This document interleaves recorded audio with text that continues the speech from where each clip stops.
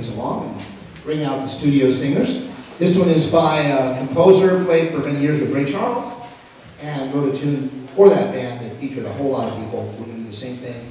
We're going to conclude our portion with a tune called The Sand Blaster.